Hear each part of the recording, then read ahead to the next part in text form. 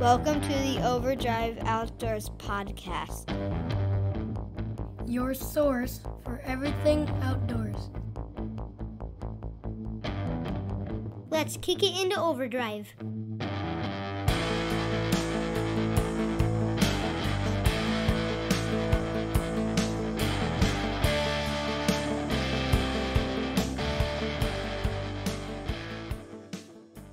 Overdrive Outdoors podcast brought to you by Predator Hunter Outdoors. Whether you are new to predator hunting or looking to upgrade your equipment, Predator Hunter Outdoors will have you hunting after the sun goes down. Carrying a full line of lights, night vision, and thermal optics, along with tripods, calls, mounting systems, and more, check them out at www.predatorhunteroutdoors.com or on Facebook at Predator Hunter Outdoors. Use promo code OVERDRIVE2021 for 20% off your order. All right, everybody. Tonight we're here with Kevin Rought and Mike Luttrell. Is that right? That's I got it right. First time in two First time. years. First time. we we last time we were uh, recording a podcast. Mike and myself and my brother Joe were in the Upper Peninsula hunting. Uh, we kind of introduced ourselves, but tonight we want to bring in Kevin Rought. Kevin is the co-founder of Overdrive Outdoors with me. How are you guys doing tonight? I'm doing all right. Doing good. Have either of you been out hunting in the last week, week and a half? I have not. Uh, just too much stuff going on around here. Negative. Not this last week. I guess I'm the only one. You're the only one. And you been- did good. What's that? I said, and you did good. Yeah, the uh the last what was that Friday night? I think Clint, my brother and I, we went over to a piece of property. Well, we had started meeting a landowner, a new landowner that night. Um, had some coyotes on camera right behind his house, and to be honest, it's going to be a tough property. It's 17 acres. It's very narrow, and it's it's really hilly. So you guys know how it is setting up in very hilly, small areas. Coyotes can pop up on us at any time from anywhere if you're not set up in the exact perfect location. And this property, we basically just waited till dark after meeting the landowner. We called it and we didn't see anything. We saw a couple deer. Um, crops are starting to get pretty high. Are they starting to get to the point up by you guys that you're not going to be able to hunt coyotes in them for very much longer? We were just I was just talking to Kevin about that before we started this podcast. Um, I said, all right, hey, we're losing a lot of properties up by me. Yeah. Uh, we hunt. A, I hunt. He has a property right by me, um, and I drove by it actually today. And I said, yeah, that's unhuntable already. So the crops jumped up. Not every field is like that. Right. Yeah, I've seen some fields where the corn is still probably only about eight inches. Um, other spots, you know, depending on the field you go to, it's getting up over a foot probably by now. Yeah, and that's kind of what we ran into Friday night. We uh we called in a triple on the second set in that area after about a 30 minute drive. Uh Rabbit Distress, I think it was Tony Tubby Senior Cottontail. We had three of them coming down the corn and I posted the video on our YouTube channel of that one and you could you could pick heat coming up with the thermal but it was really hard to tell what they were because the corn was just to that point where you were seeing tops of their bodies and and their heads you know? Um but we ended up killing two out of those three. We went over to a uh, what was that second field we cut? Wow it was another cornfield and basically got out of the truck took about 15 20 steps and turned on my scanner my uh my thermal scanner looked out in front of us and there was i think seven of them in the field walking out in a, just a line. Kevin uh, you know that field because that's where tony Bonensegna, mountain lodge outdoors was with us in december i believe and he missed one on the tree line. And it ran out in front of us and i shot that one on the run the same field right there but that corn was also getting to the point where we just it, it I probably won't be able to hunt it again until the crops have been harvested at this point. And that was only a week ago. But we killed two out of those. We got four that night, so that was a pretty good night for us. But um, you know, we really want to introduce everybody on our team. And tonight, Kevin Rought is with us. Kevin, we just want to know, you know, how you got started predator hunting, what you started with, if you were a day hunter or a night hunter. Um, so I guess we'll go ahead and just let you take it from here for a minute.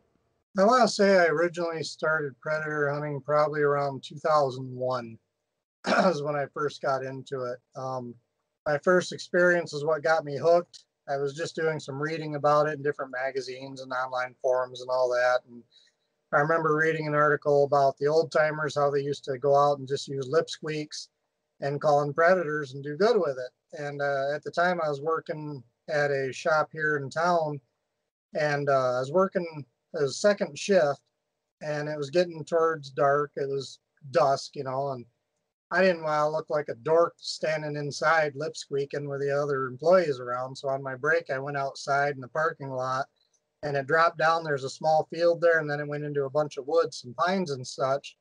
Looked around, make sure no one else was looking, and practice some lip squeaks, just simple.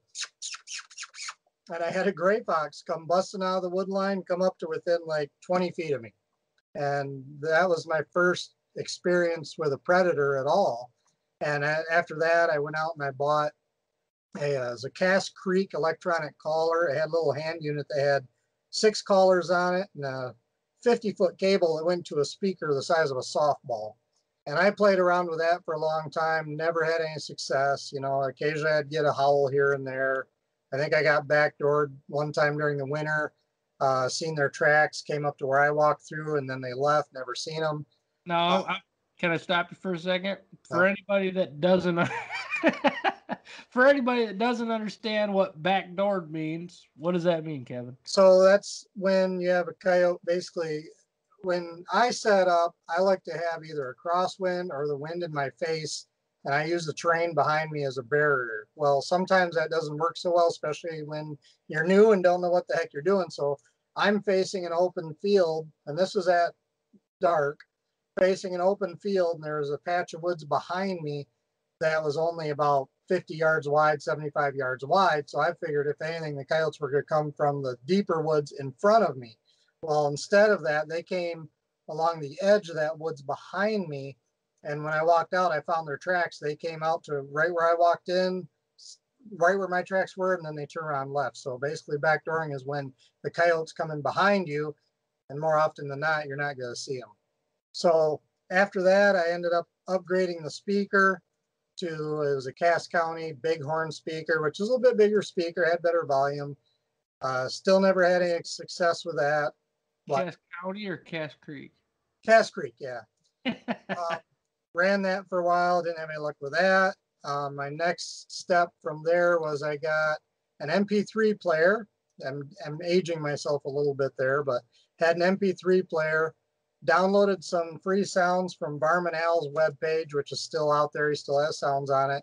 And then still use that speaker off that. And that's how I killed my first coyote. That was a daytime coyote. I was sitting in a tripod stand on the corner of that same field where I was backdoored.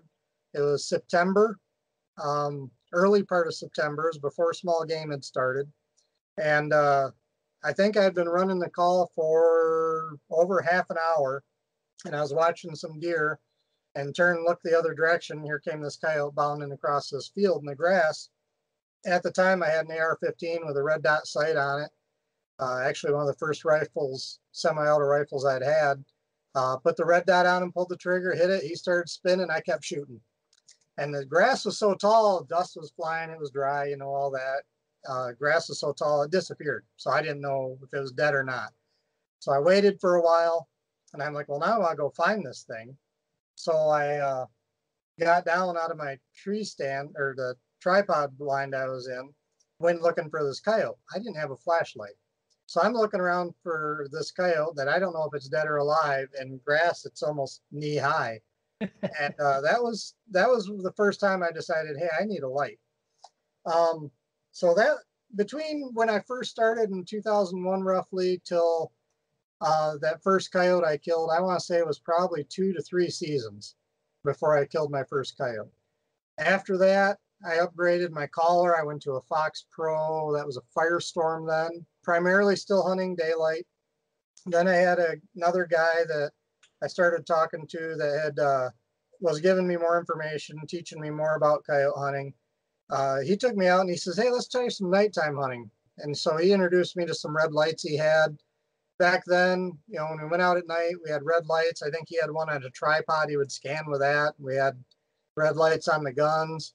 Don't really remember having too much success during that. We called a few in, but never really got them. Then I decided to get night vision because I figured that would be even better. So I got a uh, ATN first generation night vision scope. Got my first nighttime coyote with that. Uh, using that on 22 mag. Back then we were restricted to rimfire shotgun only. I had it on 22 mag. Killed a couple of that. Uh, then decided to upgrade both the gun and the scope. Uh, went to the ATN X-Sight 2 because I had day and night capabilities. I wanted to still use the gun for squirrel hunting and stuff. It was only rimfire I had. So the X-Sight 2 gave me day and night. Uh, still using the red light and then an infrared with the X-Sight 2, but we were using red light to scan. And uh, we had some success with that. Uh, after that, I upgraded my collar to the Fox Pro Fusion. Still did a lot of daylight calling for probably a year or two after that. And then we, you know, once we got into the red lights and started using the night vision, started doing more and more nighttime hunting and I would say probably two thirds of my hunting now is nighttime and probably a third of it's daytime. I still like to call daytime. Now, I mean, we use, I have night vision, I have thermal, and, you know, hunt day and night. Currently use Fox Pro Fusion still, and then I also have a Lucky Duck Revolt, and then, of course, the mouth calls. So I use a little bit of everything now, uh, several different guns, obviously. It's just, I base the gun on, you know, when I'm going to call, where I'm going to call, the type of terrain, daytime, nighttime, whatever. Now, how do you choose a weapon based on terrain or a caliber based on terrain? Okay, a lot of it has to do with the distance I expect to be shooting. Um, if I'm going to be, and you know, it depends too, like population, populated area versus a rural area. If I'm in a populated area, I'll use a lighter caliber, sometimes even 17 still. If it's going to be longer shots, then I'll usually take out something with a little bit more oomph behind it. If I'm in a big open area, I want something in case I have to take a longer shot, even though I still try and keep my shots 200 yards or less. Um, but I'll still take a gun that I know is going to be more than capable to take that longer shot. And obviously, real tight, thick quarters, then I'm running a shotgun still. Now, when you started using lights at night, do you remember what your first light was? Well, you know, I think it was something off eBay or something like that or something I bought online. It did have a red LED, but it was a small unit. Like I said, we just used it to scan. Um, and then eventually we were actually at the Woods and Water show over on the other side of the state. And we ran into uh, Predator Hunter Outdoors and Paul Cianciolo and uh, ended up getting his light set up, the headlamp, and then the uh, NS back then. What was it? Uh, it was a 550 back then. Might have been before the 550. It was before the 550. Yeah, it was before the 550, so I don't remember what it was, if it was a 200 or what it was, but you know, that was my first good light experience. The one off eBay was, eh, I mean, it worked, but it didn't work all that great. That that's kind of how mine was too. We talked in the last podcast about those Primos night blasters that we used, and they were decent for you know 150 200 yard identification but you had to carry a six volt battery with you and you had to not drop the red lens filter or you were going to be using a white light and in my opinion in michigan white is not a good option. You pretty much want to go with red. Um, mike do you remember I, I, we talked in the last podcast about you starting pretty much with a night vision. Yeah yeah. I, I like we said in the last podcast i I missed the whole red light phase. Um, getting introduced with to Kevin, you know, at the beginning of my hunting career, I took his more of his advice on what to buy, how to get into it, and he took that whole that whole learning curve that you guys talk about, you know, it took many years to call on a predator. He took that whole curve right out for me. So I went, I, what did I buy? I bought the 4K, uh, ATN's Pro 4K, um, with a NS 750 is what I bought. It was my very first light. Yep. Yep. That was my very first light. Um, I think you bought right off the bat. You bought the Tony Tebby kit. yeah, the very right, right after the bat, I bought that. Yeah, just taking his advice on what to buy. I was actually initially gonna buy thermal instantly, but actually Kevin talked me out of it because I didn't. I never really hunted with thermal, and the identification of an animal. You know, he says, "Hey, why don't you? uh You need to go with at least a light to get into this, learn predator hunting. You know, hunt public land a lot." before you start going on people's properties and say that you can hunt these coyotes. Um, so he talked me into the, you know, the buying lights instead of going right to the thermal game, um, Well, which I'm glad he did too, because there's that that's that there's still that learning curve. No matter if I had him in my corner to ask questions or you guys, you know, on the team. Another point with that too, and I still tell this to people too, is that, you know, especially right now, you got a lot of guys that want to get into it and they look at it and, you know, a lot of people push them to thermal right off the bat. Well, not everyone has a budget for thermal. No. And I would, I would hate to recommend to somebody, hey, yeah, go ahead, do this, buy a thermal. They spend, you know, thousands of dollars on a thermal. They spend, you know, a bunch of money on a gun and then they get into it and they don't have any luck and they realize this is stupid. I'm getting out of it.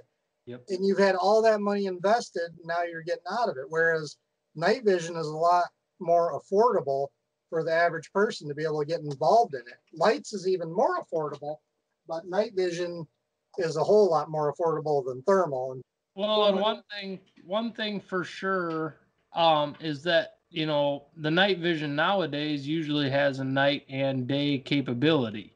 The ATN 4K Pros, they are good for night or day, and you can use them legally in Michigan for deer hunting if you do not have an infrared illuminator attached to them and you are not hunting after dark. And that's another big thing for people that want to get into night vision. You know, nobody, as far as I'm concerned, night vision with day vision daytime capabilities most people getting into the coyote hunting aren't just starting hunting. Most of these guys are hunting deer beforehand and a lot of the time that is why they get into coyote hunting from what i've seen. That's what got me into coyote hunting was deer hunting and seeing coyotes. And then later down the line my baby brother eric shot his first deer. We had to let it go overnight. Uh, we went and tracked it the next day, and the coyotes had eaten every last bit of that deer besides the rack and the arrow. That was the only thing we found, and that is when I pretty much started my vendetta 365 24 7 with the coyotes. Yeah, and that's on that note too. That's why I, I went with the lights also because I when I when I got with Kevin, this gun that I built, they actually he built for me.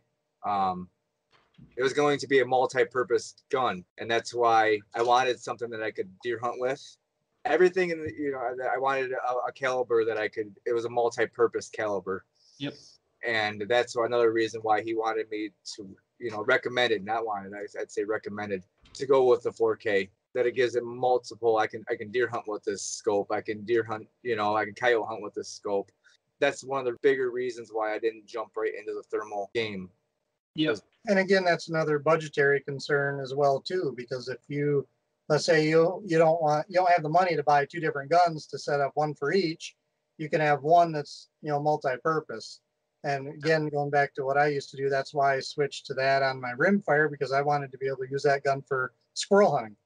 You know, and obviously back then, especially the a traditional first generation night vision scope, no matter brand anything, it's dedicated night vision. You cannot use it during the day. You will ruin the tube on it.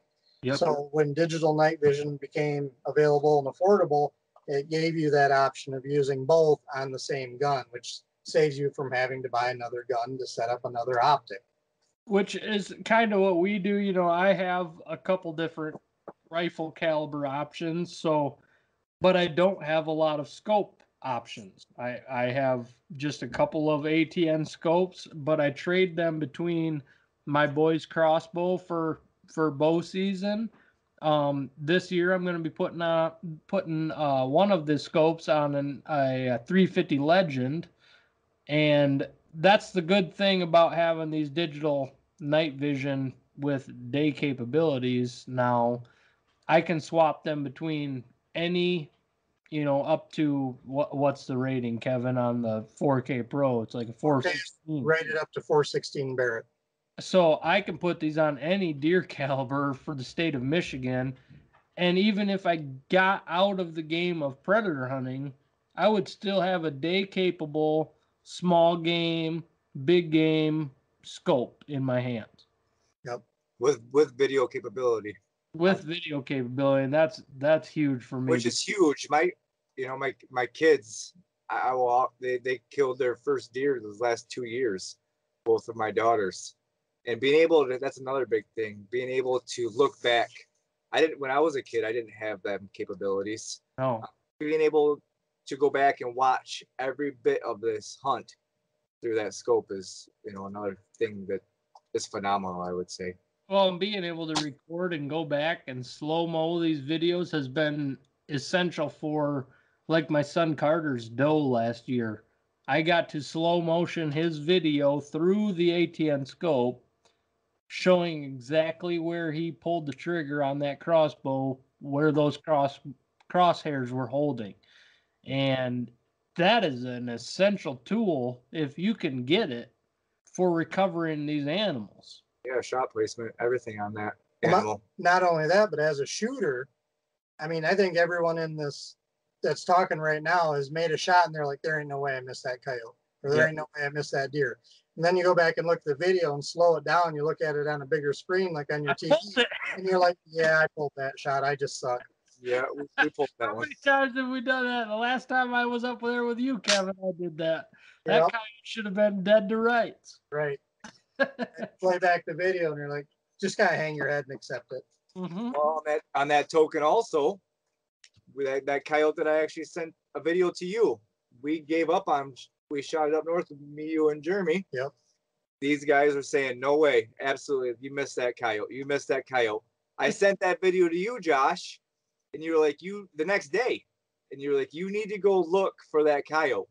That coyote is dead. You hit that thing in the heart and i'm like no we looked for it sure enough kevin actually went out there that very next day because i was at work and he found that coyote what 50 yards from where we stopped Yeah. looking Yeah. you know Because Jeremy and I were watching it through thermals, and that coyote didn't look like it was hit the way it moved. Looking even at his video, when we looked at it, it's like, yeah, the, the crosshairs were on it. It was where he was supposed to be, but that coyote didn't drop, didn't spin. It just turned around and ran. We're like, man, I don't think you hit that coyote. And in hindsight, you know, you feel bad about it because we made the wrong call in saying we didn't think that coyote was hit. But, Mhm. you know, at that time, I didn't know Mike as well as I did, but he was very confident in his shot. And I said, well, I'm going to go out and look for it anyhow. And I walked out in the field and I said, okay, we've seen it run this way. So I started walking out there and I think I found it by the flies, to be honest. It actually ran out and then went underneath the pine tree and was laying there deader than a doornail, like he said, like 50 yards out. Yeah, that that's one thing I love about that video, and I get I get videos fairly often sent to my messenger box of people saying, "What do you think I did here?" And that one, I mean, we've seen it before. Coyotes shot through the heart can run like crazy. Sure. Just like deer, you know, there's a lot of guys that make good shots on deer, and you'll have a blood trail that a blind man could follow, and that deer will still run a mile. And Yep. coyotes are no different. In some cases, I think I've seen coyotes run further than what I think deer would. And Oh, absolutely. I, I firmly believe if you shoot a deer through the heart, that deer is not going to go more than 50, 60 yards. But I have watched coyotes run. Shoot the one in the UP, Mike. Yeah. How much damage did I do to that one the second night? And that thing ran 150 yards.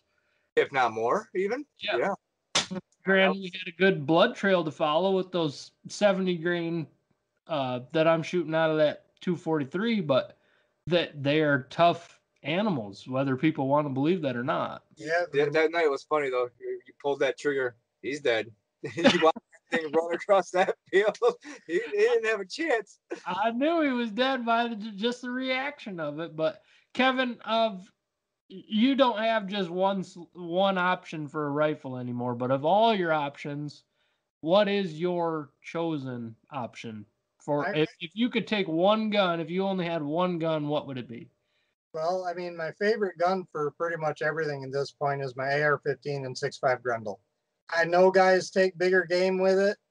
I guess I wouldn't hesitate to do it because with the right shot placements could do the job. I mean, there's guys even in Michigan and out west that have taken game as big as elk with it. I've watched Randy Bear drop a bear or Randy Booty drop a bear in his tracks with it. And to be honest with you, I'm I'm very comfortable with that gun and very happy with how it performs on everything I've shot with it. I've shot antelope at 250 yards. I've shot white-tailed deer. I've shot hogs. I've shot coyotes, fox, bobcat, raccoons, skunks. I mean, pretty much anything that I could shoot, I've shot with it, and it's always performed really well for me. Now, I want to bring up the fact that I think you are the only one of all of us that has been a successful bobcat hunter. Have you not? I believe. Uh, yeah, I think so. And you shot that one with a six five Grendel, and I remember the first one you shot. Yeah. And those seem like tough animals too. Yeah. The first Bobcat I shot was actually with my 223. I was using at that time, it was a 60 grain Nosler ballistic tip. My shot was probably about 75 yards. I shot and I got the video of it and I posted it before, but the cat was sitting down facing me through a bunch of brush. I threaded a needle on it. At the shot, the cat just took off running and it ran up a hill that I was sitting on into a bunch of really thick brush. And I heard it yowl like twice. But before it got dark, I went over there and looked all over and I could not find that cat. So I showed the video to a couple other people. I told people that knew more about it than I did what happened. Everyone was like, well, if that cat yowled, you hit that cat. So I actually, I was so worked up about it. I took part of the day off from work the next day. I went out there and met up with the guy that owns the property. We walked out there and he's like, oh, where were you sitting? I said, I was sitting right here. He says, where was the cat? It was down there. Where'd it go? I said, it ran up this way. He walked about 10 feet and he says, there's your cat. And it went up into some deadfalls and died hanging over a down tree. So I was, and when we skinned that cat, Jeremy and I skinned it, the bullet had entered in the front chest right between the, uh, basically the brisket and the shoulder and exited out the rear ham. And that bullet never opened up, which explained why that cat reacted the way it did and why it ran as far as it did.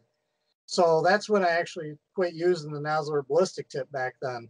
Fast forward, I think it was Now, Sure. uh, can I interrupt you for Yeah. a second? I Yeah. think people need to know what your side hobby is because you know your bullets. Yeah, well, my side hobby, I have a regular full time job, obviously, but my side job slash hobby is I'm a uh, firearms dealer and a gunsmith. I've been doing this for probably close to 20 years and uh, do it just as a side business out of my house. And like you said, it's more of a hobby than business because I really don't make a whole lot of money at it. I'm also a reloader. I've been reloading for probably close to 30 years take the time to you know do good load development. And i specifically choose bullets for what i'm going to do. And then i also uh, have done a lot of ballistic testing with custom bullets and everything. So i try and if if someone comes to me and says hey this is what i want to do. What do you recommend? When i make a recommendation it's based off field use. It's not based off what someone reads in the catalog. It's not based off what a manufacturer says. It's based off you know, I have a lot of customers and I'll say, hey, try this ammo. If it works, send me pictures. If you skin the animal, send me pictures of skinning it. So we're getting basically, you know, post post-mortem results that I use to give people an educated information on as to what they should use. And obviously I've used that myself as well in my own personal ammunition. So like as an example with uh, my 260 Remington, I built that with the intention of it being a deer slash predator gun and for potentially animals bigger than deers. And I've taken bear with it, I've taken coyotes with it, I've taken white-tailed deer with it. And I've used three different loads for that gun. I've used uh, 95 grain VMAX. I've used 130 grain Sierra Game Changer. Actually, those are the two primary loads I've used for it. The Game Changer, I've used on bear. My bear went probably no more than 35, 40 yards. Had really good performance, nice exit on it. Coyote, I've used 95 grain VMAX, and actually Mike was with me the very first coyote I ever shot with that gun, and it just anchored that coyote. Drop them. And then um, I actually shot my deer last year with a 95 grain VMAX. I was leery of using that bullet, but talking to Randy Booty, who knows way more than I do, he said at the velocities of that gun, that bullet should work really well for deer. And I tried it and uh, it worked really well on that deer. So, you know, I, I, try and make sure that I tailor my loads and any recommendations I give to other people based off actual field use. So fast forward to my next Bobcat. That one was taken with a 6.5 Grendel two years ago. And during that year, I was using new bullet from Nosler, the 90 grain Varmageddon. Had really good velocity. Uh, terminal performance on coyotes was probably 50 50 in terms of being fur friendly, whether it blew a big hole in them or it didn't leave a hole at all. It was uh, really rough on fox, though. Which is one thing that you know during the the winter months we try to preserve as many good furs as we possibly can. Oh, yeah. Yeah, either to sell them or to hang them on your own wall. Either way, you want to try and save them and use them if you can. Yeah, preserve the memories, or you know at least put good use to them. Right. What bullet would be your choice for the most fur friendly out of your six five Grendel? Right now, my two bullets that I would recommend for predator hunting out of the Grendel are going to be either the 100 grain Nosler ballistic tip or a 95 grain VMAX. The 95 grain VMAX actually has worked better on fox in terms of being fur friendly. I've killed several fox with it, and it's always actually done pretty darn good. Now, the 100 grain Nosler ballistic tip, though, still tears fox up bad, but it's really good on coyotes. See, and now I can say a 70 grain Varmageddon out of a 243 is not friendly to fox at all. it's hard to find something that actually is friendly with fox. I mean, there's such a, a lot of people don't realize it, but they're such a small, fragile, thin animal. Yeah. It's hard to find a good center fire round that will be effective on fox. I mean, I took one early uh, this year with my 17, even 17 WO7. Even that tore that fox up good. Not bad enough. I couldn't save the hide. I did, but it still tore it up pretty good. Um, the lighter calibers, um, going fast with a real frangible bullet or a good solid bullet that won't expand are your two best options for fox, in my opinion. And what? See, because I also have a 17 WSM uh, Savage B Mag. My preferred round of choice for both coyotes and fox is going to probably be the 25 grain bullet. Is would you agree to that? I agree with that only because it's the fact that's the one that shoots best out of my gun. Yep. Um, I've experimented with the 20 grainers and they just never shot as good. But the 25 grains terminal performance has been good enough that I'll stick with it and it shoots more accurately out of my rifle. Yeah, and see, we've with my Savage. Um, I know I've sent I've sent you uh, grouping shots. My 25 grains grouped the best to begin with, like during that barrel break-in period, and the 20 grains have have tightened up quite a bit. But my son Carter, he shot one with that 17 with a 20 grain at about right about 150 yards. I don't know January or February this year, and you guys have seen that video. That coyote absolutely dumped. Mhm. But with a smaller caliber, I just tend, I, and I don't, for anybody listening, I don't know ballistics. I don't know any of that stuff. I just, for a 17 WSM, my choice is the heavier bullet because I feel like it's going to hit just a little bit harder.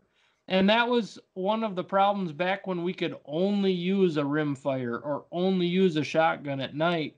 How many coyotes did we have to track with a 17 uh, HMR or a 22? And I, I've always just chosen that heavier bullet with whatever caliber I, I've chosen to hunt with, just because of that knockdown power with that heavier bullet.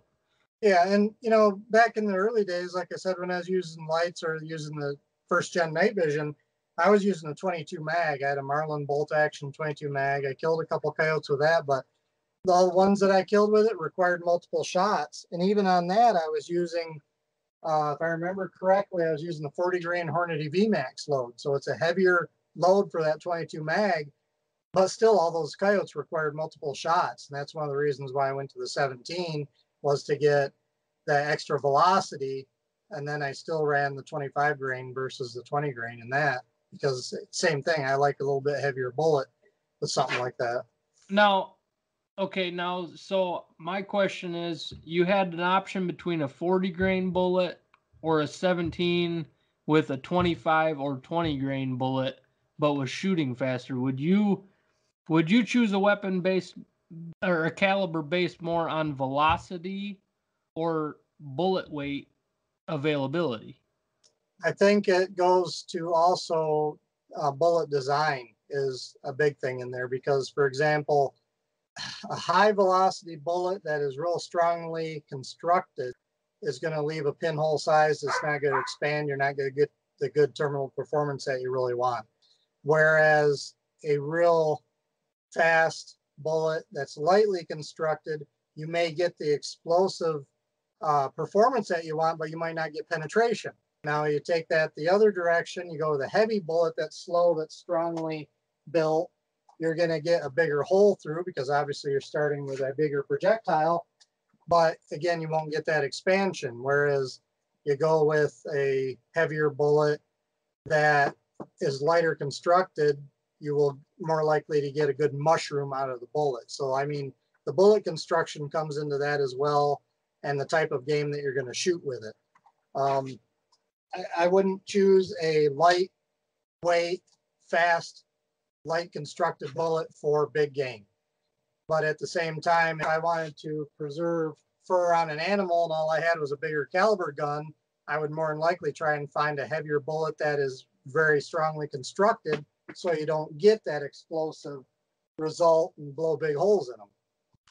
Mike, you stated in the last podcast that you also choose a six five Grendel. Correct. What bullet of all your uh, bullet options would you choose? So I, when I originally built the gun, uh, I I ran the Hornady Blacks 123 grain. I mean, I, have killed plenty of coyotes with them. Um, and deer. And deer. And then actually, with low development with Kevin, went with the 95 grain VMAX that he loads actually. Uh, actually, I came over and actually loaded my first time, or I loaded my own ammunition with them. They perform really well.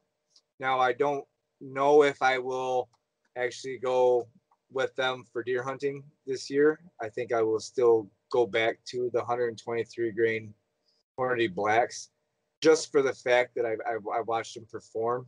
On I've shot two deer with them and my both my daughters have shot one deer each with that load. And it's performed phenomenal. I mean I've I, I haven't had a deer run more than 60 yards. And actually two out of them four deer have actually dropped in their tracks. I didn't have to track them one bit. So I, I and that's a heavier bullet and it's not traveling quite as fast as the 95 at all. But it, it performed really well on bigger game besides coyote.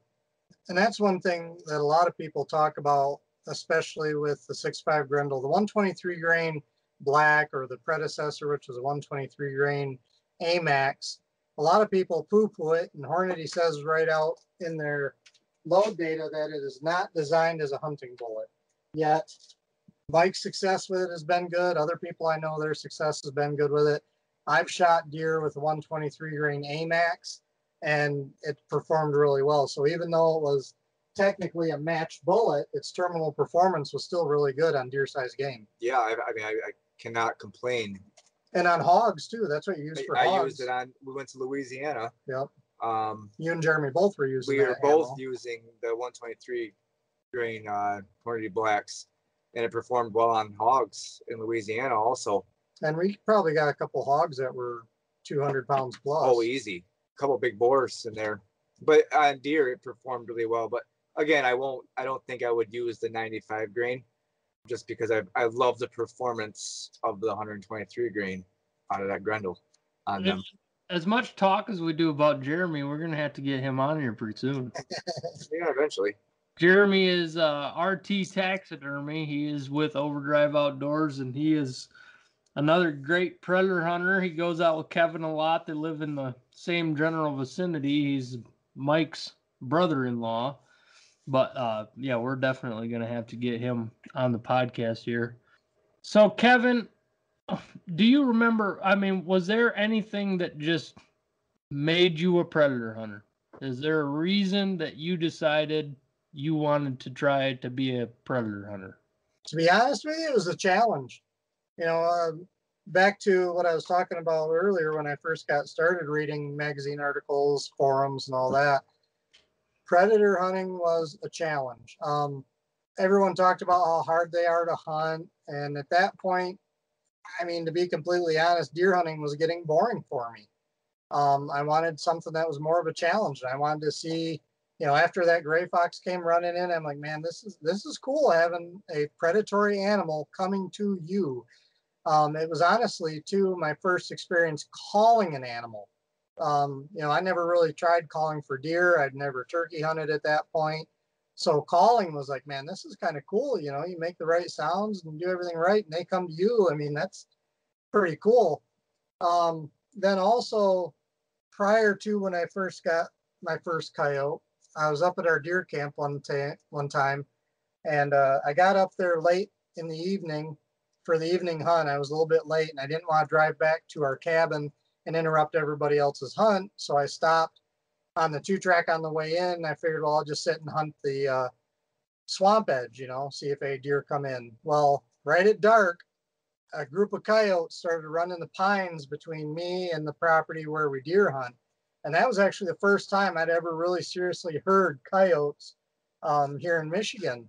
And it just kind of like, wow, that's cool. It's kind of scary, you know. I mean, like a lot of people when they hear coyotes, it actually scares them. So at that time, I was a little concerned. I mean, I was using a, uh, a Enfield 308 bolt action rifle at the time, and I'm sitting here thinking, man, do I have enough ammo if these things come my way? Um, but that right there, combined with the whole challenge of you know, calling in a predator is what really did it for me. And now, I mean, even now, you know, fast forward to almost 20 years, I still get excited every time I get calling a predator. It doesn't matter if it's a coyote, a fox, a bobcat. Um, I still get excited about it. And I, knowing that I set up right, I did my calling right, I was camouflaged or set right, you know, knowing that I did everything right enough to get that predator to come in, um, to me, every time is an accomplishment and it's a feat in of itself. Yeah, and that that definitely is a, good feeling knowing that you've done everything right because like I've explained before, I did everything wrong for probably 4 years. Right. And Kevin, you and I met up. We originally had I believe first talked on the scrap horn predator boards. Yeah. That was an online forum and man, I can't even remember but when I first started this, I believe there was 3 to 400 people on that board talking about Michigan coyote hunting. There, Yeah. there wasn't a lot of people back then.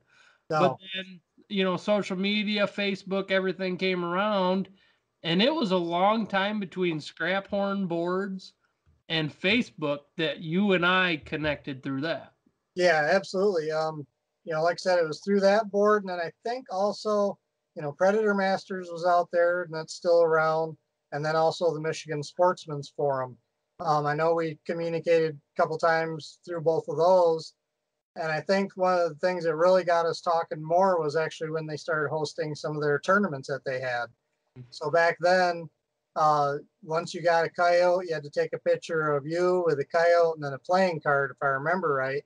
And I remember kind of challenging you. We went back and forth and I think you ended up coming out on top, but I was right on your coattails. You know, we did that, and then we just do the three side or you know whatever. I was in zone three. right, yeah, yeah. I forgot about that. Different zones, and then uh, you know, after that, then I remember we just decided to get together and hunt one time. And if I remember right, the first time we hunted together was me, you, and your brother, and uh, I mean that started it all in terms of us getting together and hunting, and then you know everything else after that continued for a while and you know eventually it led to the start of overdrive outdoors Yeah, well, to be honest, before we even hunted, the first time I had ever come up to meet you, shake your hand face to face, was because I was looking for a specific shotgun, yes and you were the only guy that could get it for me. yep legacy sports international turkey slash coyote tactical shotgun That is right. That was my baby, but things have uh, things have happened. I no longer own that firearm, but you were the only guy that could get it for me. So people keep that in mind. If there's anything specific you might need that not very many other people might carry, Kevin at Tools of the Trade Sales and Service might very well be able to get it for you. not right now probably Probably not. I mean, I was going to ask you earlier how you're liking the reloading prices right now. Well since i haven't had to buy any of my own components because i had enough stockpiled it's not affecting me but um you know the prices of components powder and bullets aren't terrible but primers have just went nuts both in availability and pricing. Um, a normal brick of primers which is a thousand primers i believe i was selling them the last time i could get them for about 35 bucks a thousand. I've seen them going for over 400 dollars for a brick on gunbroker Yeah, that's it's ridiculous It's right insane. now. yep That's why I'm trying to to shoot very little. No mag dumps for me. right I've been watching some videos lately of people mag dumping on coyotes running across fields. And it's like uh, two, four, six, eight, ten. You're down ten bucks already, and you never even Right. killed that coyote. Well, you know, that's the thing too, is especially with all the different groups we're on, forums that we're on, everything else. I mean, you've probably seen it too. How many people do you see out there like, man, I'm running out of ammo. Can someone hook me up? You know, I'll take a box of anything you can get. And it's just the availability isn't there. So I I think pe- people in general are trying to be a little bit more careful about their shoot shots and how much they shoot. But there's people out there right now that say, man, if I can't get any more ammo, I'm not going to be able to do much hunting. Yeah. It's just the state of the industry, so to speak, right now, unfortunately. Uh, Kevin, you also run a suppressed rifle. What is your suppressor of choice, and why do you want to shoot suppressed? I actually have two different suppressors. I have a Yankee Hill Machine Phantom, which is the first suppressor I ever bought. It's a dedicated direct thread uh, 223 suppressor. My second suppressor is an OSS Helix Magnum. Uh, that one I actually use on right now two different guns because it has a QD adapter on it. The Yankee Hill Phantom on the 223 right now, dedicated to the 223, is better on sound suppression. That's because it is true to bore size. It's made for 223. Well, I actually use it on my 204 now as well. So um, it's closer to bore size though, so it's effective, more effective in terms of sound suppression. The OSS um, is actually the OSS Magnum, which is rated for up to a 338 Lapua, and I'm shooting it on a 6.5 Grendel, my 260 Remington. So the sound suppression isn't as good, but the OSS design allows the gases to be vented through the front of the suppressor, which means on a normal baffle design suppressor, the gases will actually often be more gas flowed back into the action of the gun. On an AR-15, this can be important because gonna end up with a dirtier action. You tank the rounds out that you didn't shoot. They're dirty. They're gonna corrode if you don't clean them up. The OSS doesn't do that. I mean, I can shoot, you know, a full mag through that OSS and take the magazine out and the brass is still pretty much clean. So right now, my plan is eventually to get another OSS suppressor that's closer to bore size so the sound suppression will match better and I'll have better uh, performance that way. Why do I like to shoot suppressed? Because for one, it's easier on my ears. Um, as a lot of predators, hunters around here do, you don't always hunt alone. You hunt with a partner. And if you're shooting to your left at a coyote and your, Mike's neighbor- that part. your, your partner's on the right and he shoots at the same coyote on the left, sometimes that gets really loud if you're not suppressed. Um, You hear the videos. yeah. Ow, ow, so stop shooting. so it's it's better for my ears it's better for my partner's ears and i honestly think that the animals react different to it with a good suppressor the sound that they hear is non-directional because pretty much the only sound they hear is a supersonic crack of the bullet which is non-directional as opposed to a non-suppressed rifle there's a report at the rifle and they can hear that direction i've had animals uh, coyotes specifically that I've shot at and missed that actually turned and ran straight towards me or ran in a circle. It was like they didn't know where it was coming from, so they didn't know where to go. I think the suppressor helps with that in terms of them not being able to locate the origin of that shot and not always reacting the same or knowing how to react because of it.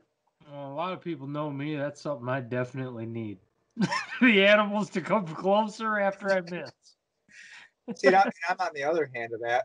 Uh, actually, I just purchased my a Form One, but on my token though, I mean, how many times have we been out there, Kevin? Though that I've shot with you, and in my personal experience, and I, I agree with Kevin 100% on the suppressor, but I've I've shot a coyote at 100 yards and turned up, and here comes another one, two seconds later, charging in straight at me still. And I, I think it's more that I reason I'm going with suppressed is for my partners and my kids hearing more than animals' reactions.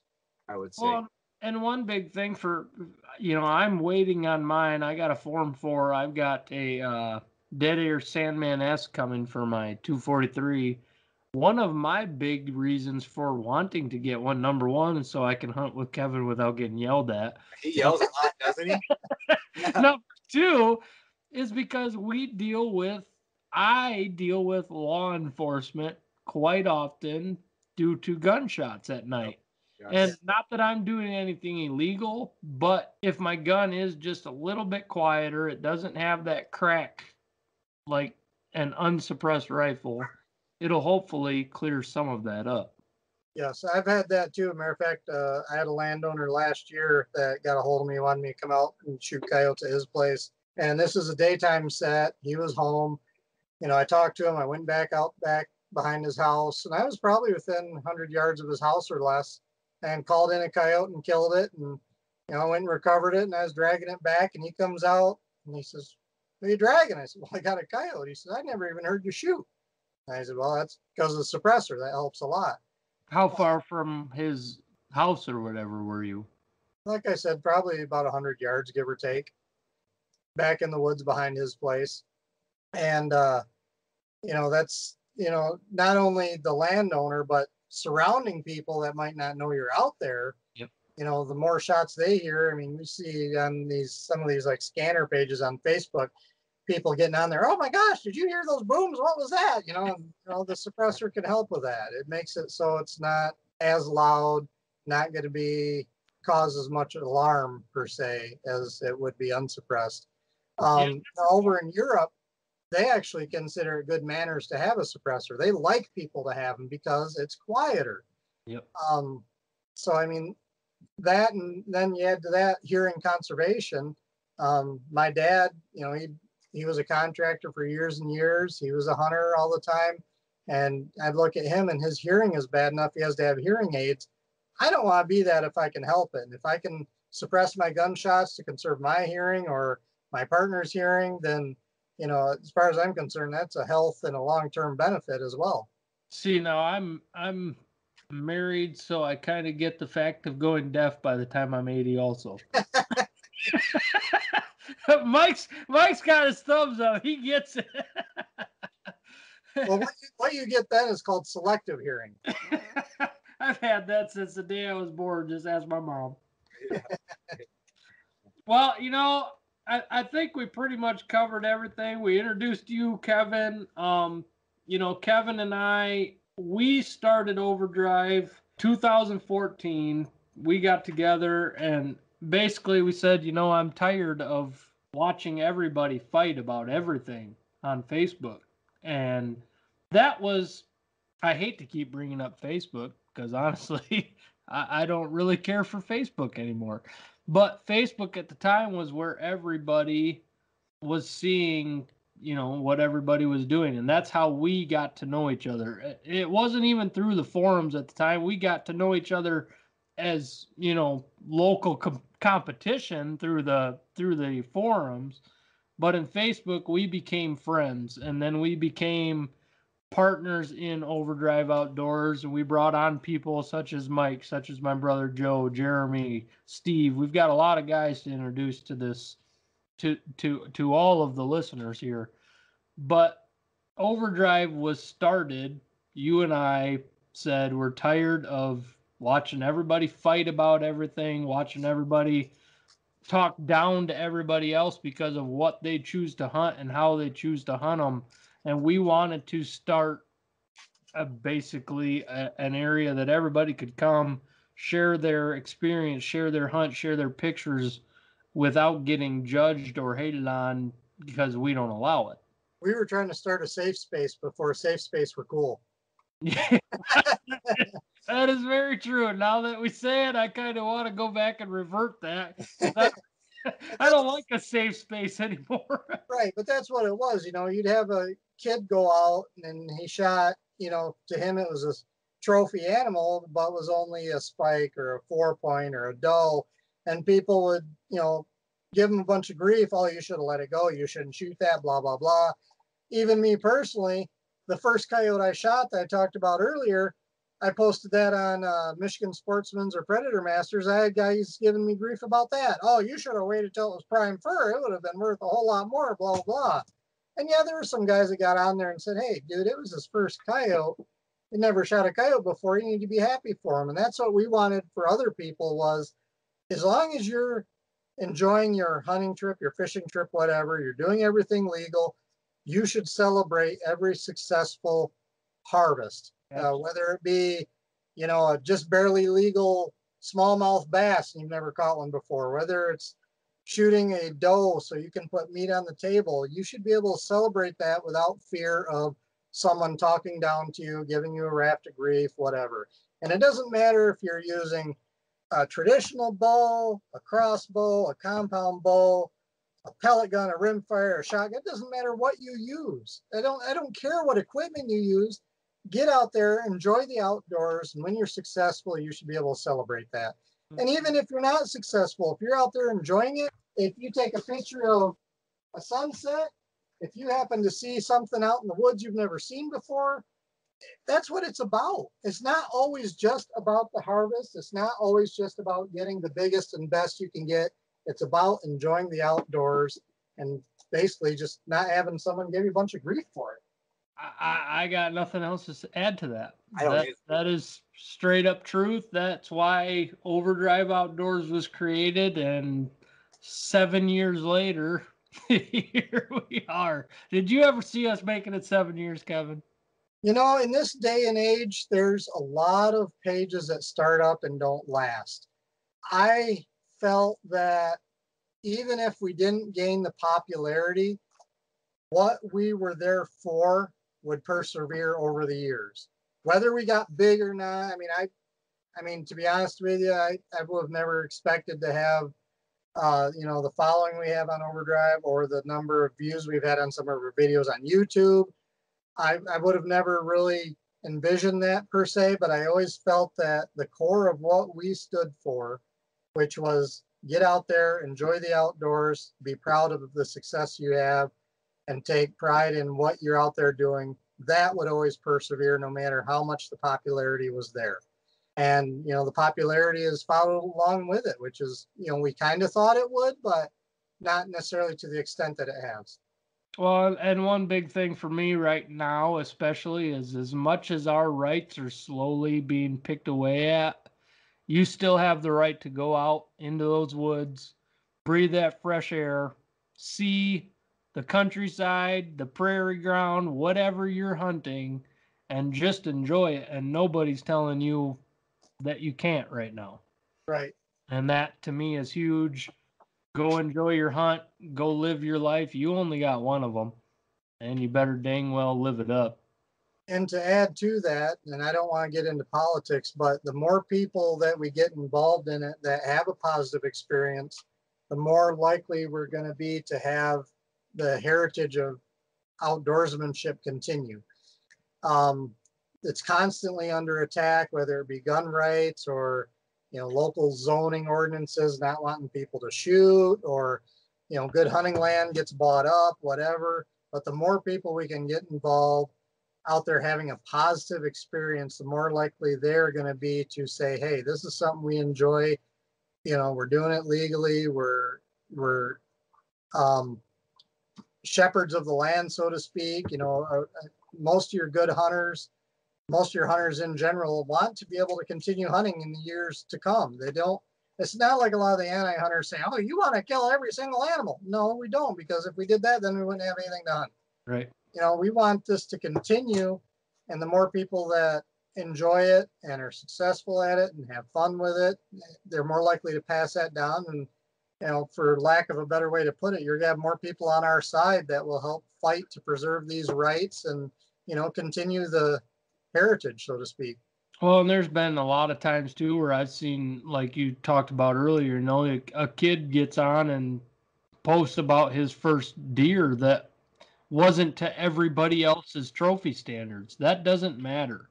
But you you telling that kid he made the wrong decision or he should have waited might just be telling that kid not to hunt anymore. Well, sure, they'll give up.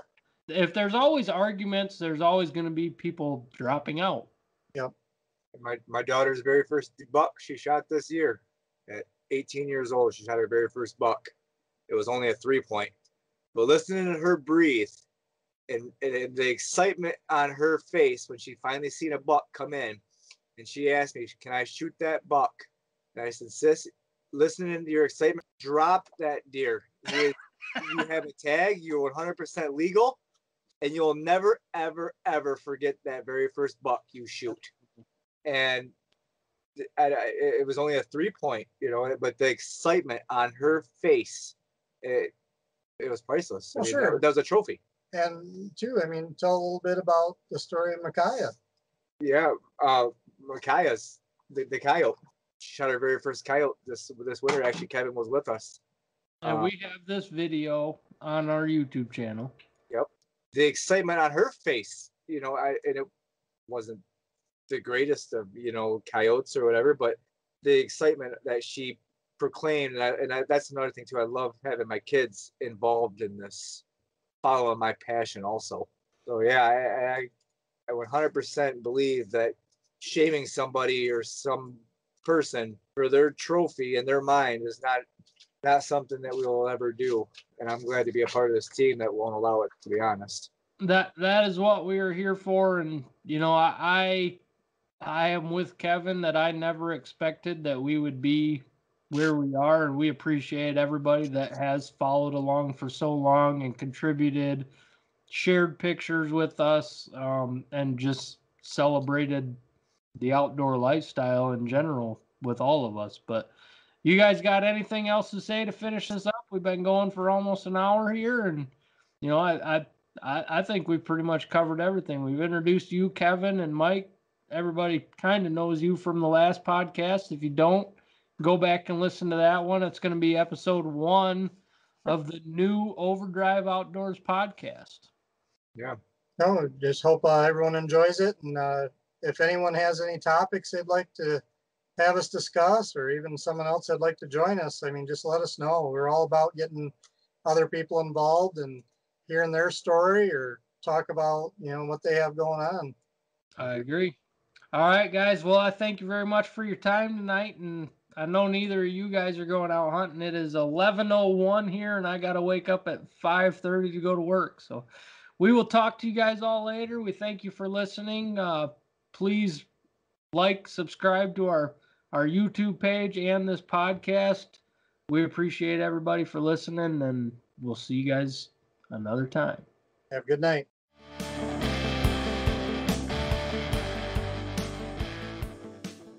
Want to lengthen your time in the field and shorten your scouting time? Not only does the HuntWise app show you property boundaries, landowners' names, and in some cases even their phone number, but using the app will show you the wind direction on the map of the place you want to hunt. And the HuntCast feature shows peak movement times for various species, including predators. Get the HuntWise app at www.huntwise.com, the Google Play Store, or the Apple App Store for only $59.99 a year for Pro or $119.99 a year for Elite. Use promo code OVERDRIVE20 for 20% off an annual membership.